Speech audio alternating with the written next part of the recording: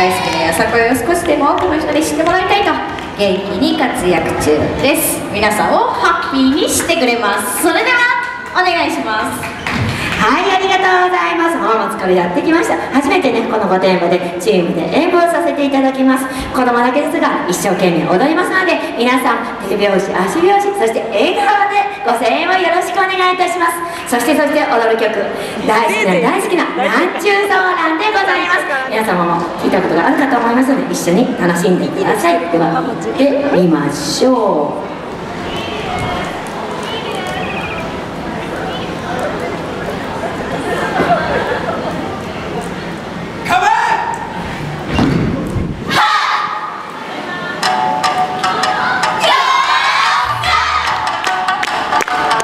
ありがとうございます。